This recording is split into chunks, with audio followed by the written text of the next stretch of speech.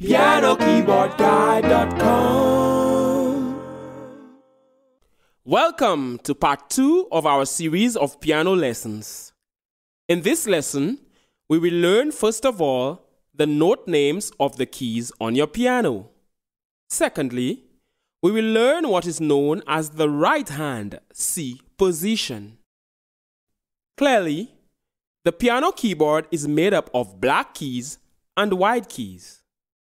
If you look closely, you will realize that the black keys follow a pattern of two keys, followed by three keys, followed by two keys, followed by three keys, and so on.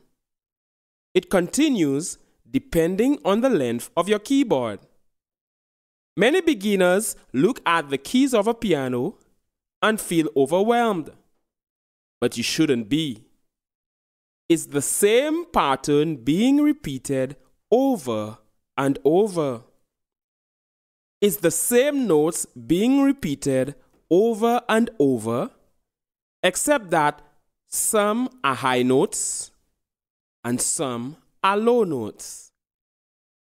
In this beginner lesson, all we have to be concerned about are the white keys. We will pay particular attention to the white keys. There are many white keys, but only seven notes. Yes, only seven notes being repeated over and over. These notes are A, B, C, D, E, F, and G, the first seven letters of the alphabet. Only these seven letters are used to name musical notes. The black keys help us identify the location of white key notes. Let's find out where C is located. C is located before a set of two black keys. There are many C's on your piano. Wherever you see a set of two black keys, the white key just before it is C. Having found C, it is very easy to name the other keys. The key after C is D. The key after D is E. The key after E is F, then G. After G, we go back to A not H. There is no H. You simply go back to A. The key after A, you guessed it, is B. Then C, D, E, F, G, A, B, C, and it goes on and on till you run out of keys. F is located before a set of three black keys. This diagram shows various F notes on your piano keyboard. As we said earlier, the note after F is G, then A, B, C, D, E, F, and it continues. One very important note that you should know as a beginner is the note middle C.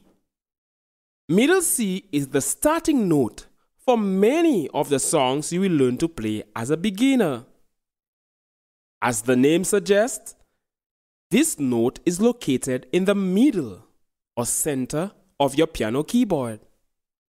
It is not exactly in the center, but it is the centermost key. Here's middle C on a 61 key keyboard. Here's middle C on a 76 key keyboard. And here's middle C on an 88 key keyboard or piano. On an 88 key piano, starting from the lowest note and moving higher, middle C is the fourth C. Let's now learn what is called the right hand C position. Here's an exercise I want you to do. Place your thumb or number one finger, on middle C. Now place your index finger or number two finger on the key after C. That key is D. Next, with your thumb and index finger still placed on C and D, respectively, place your middle finger, finger 3, on E. Then place your ring finger, your number 4 finger, on F. Lastly, place your little finger, your number 5 finger, on G. Your fingers should be curved and relaxed and your wrist should be up. This is called a right hand C position.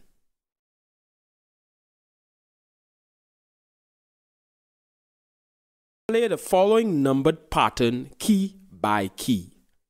The pattern is 1, 2, 3, 4, 5, 1, 2, 3, 4, 5, 5, 4, three, two, one, five, four, three, two, one, one, two, three, four, five, five, four, three, two, one.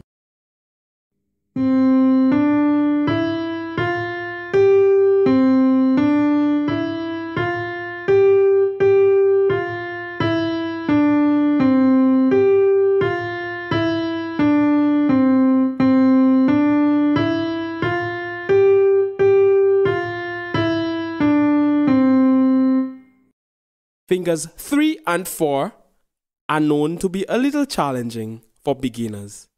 But don't worry, it will get better with practice till it's a non issue. I want you to practice this over and over.